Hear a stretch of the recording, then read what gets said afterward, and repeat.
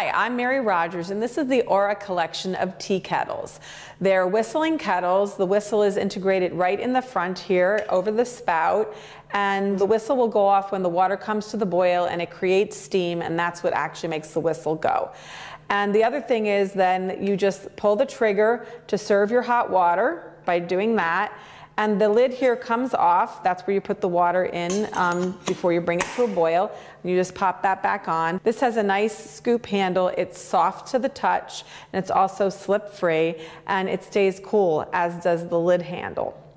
So this is an all stainless steel brushed model. That's the one that I like. And it also comes in white, red, and black. And these other colors, other than the stainless steel, are actually what's called enamel-on steel. So they're steel construction, which makes them really efficient, but the enamel allows you to make um, these beautiful colors.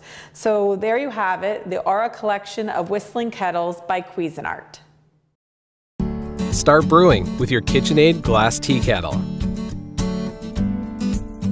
Fill the kettle with filtered water to your desired level, taking care not to fill past the max fill line, and heat to the appropriate temperature for your tea. While the water is heating, place the tea steeper into the steeper holder and fill with loose leaf tea.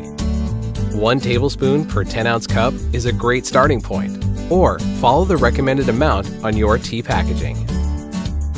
For best results, pre-wet the tea leaves with warm water before placing the steeper into the kettle. When the water has finished heating, the kettle will chime and the on-off light will stop flashing but remain lit. Twist the inner lid into the unlocked position and remove from the outer lid of the kettle. Then secure the inner lid onto the tea steeper by twisting clockwise. Secure the steeper lid assembly and twist clockwise into the locked position. Allow your tea to steep for the appropriate time as noted in the steeping chart in your use and care guide. When your tea is finished, twist the inner lid counterclockwise to the unlocked position and lift the steeper assembly from the kettle and place it back into the steeper holder. To use tea bags instead of loose leaf tea, remove any strings or tags from the tea bags and place them into the steeper. Continue brewing as normal. Alternatively, remove the inner lid and place the tea bags directly into the kettle, draping the strings over the top edge of the outer lid. Secure the inner lid over the strings to suspend the tea bag in the water and continue brewing as normal. To brew blooming tea, heat the water to your desired temperature, then add tea directly into the kettle. Follow the instructions on your tea packaging for appropriate amount and steep time. When your tea is finished, remove the blossom tea with a straining spoon.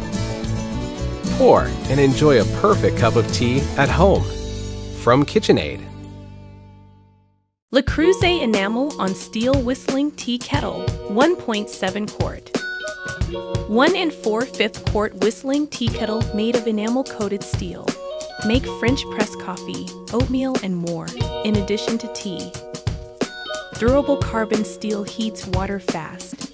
Chip resistant, non reactive, resistant to stains, and easy to clean.